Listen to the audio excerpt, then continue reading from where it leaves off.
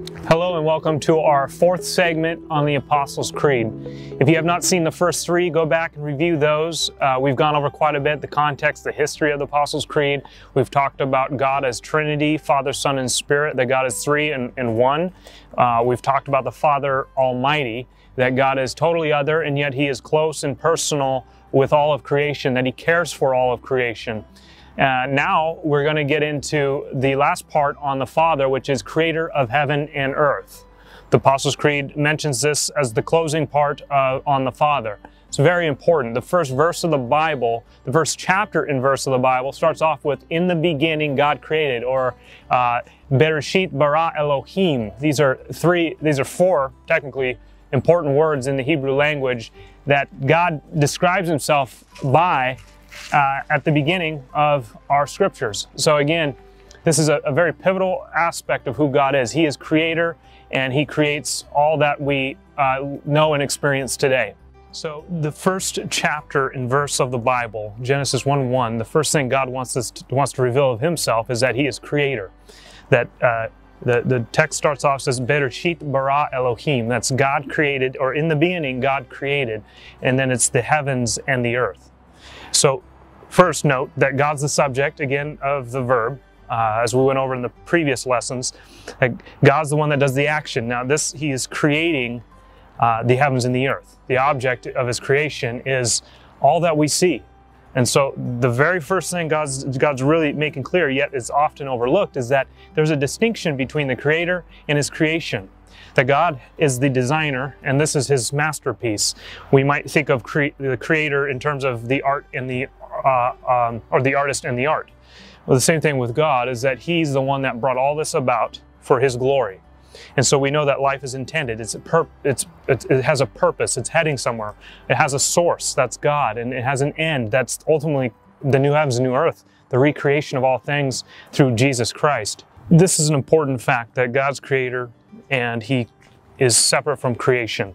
A lot of world religions and um, modern spiritualism, uh, pantheism, panentheism, all various uh, beliefs this is where they uh, go wrong from scripture is that they confuse the creator with creation. They fuse the two together and essentially god becomes the tree.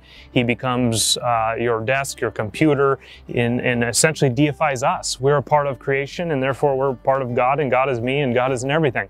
Yet scripture is clear that first there was god there is god and that he created finite temporal uh, uh, this this place we call the heavens and the earth.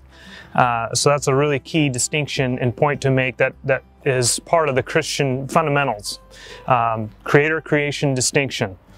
The the other point that we see in Genesis chapter one is that God calls things into existence and names them. Uh, again, this shows that God has purpose and intention for things. He's designed things to function and be a certain way.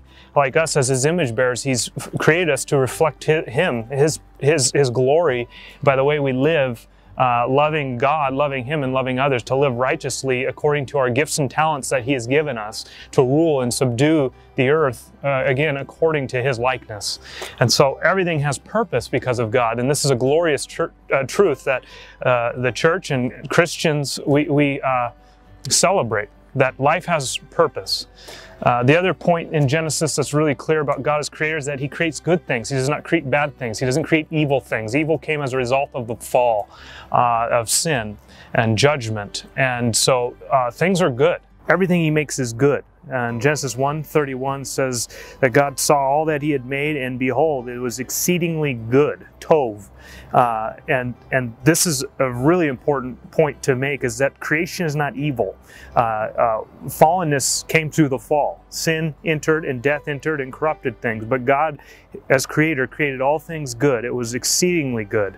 Uh, this is where uh, people people can come up with poor methods to life as though you need to escape the world and and to try to run from it rather christianity says we need to run to it and to redeem it to invite it uh, uh, into our lives to, to go after creation and restore it and rule over it the way God intended us to.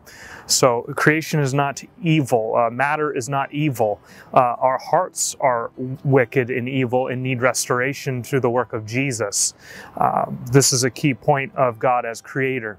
So in application, we're going to just look at how we can apply this to our lives in terms of our faith, our belief, uh, rather than practical ways. I guess the practical way would be to get our thinking in accord with God's word when it comes to the Father as creator of heaven and earth. And the first thing, we, as we noted, is that God intended all things. He purposed all things. Our lives are not accidental. Uh, this, this, this world is not due to happenstance, but the reason why we see beauty and order and intelligence throughout, through and through all things is because there's a beautiful, intelligent, all knowing, all wise God behind it all. Uh, secondly, that uh, creation is separate from the Creator. The Creator is distinct from the creation, that God is timeless, immaterial uh, being, and we are time confi- confined by time and material. We're His creation. And so we do not confuse the two. The scripture does not confuse the two. In the beginning was God, and He created then the heavens and the earth. Uh, another point that we need to get into our hearts and minds is that creation is good. Uh, creation is not evil. Uh, things are not things to be escaped from and to transcend, but things to enter into, to invite into our lives, to restore by the power of the gospel. That, that uh, uh, one practical application out of that is what am I doing today to restore and reshape this world into the, to the good that God intends it to be?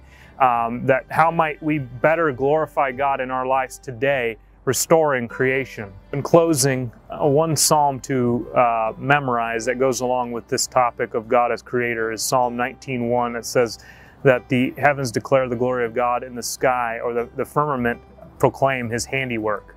Again, that there's intelligence in all things, and it really uh, is indicative of an intelligible being that created and, and ordained and purposed life like, subscribe to our YouTube channel.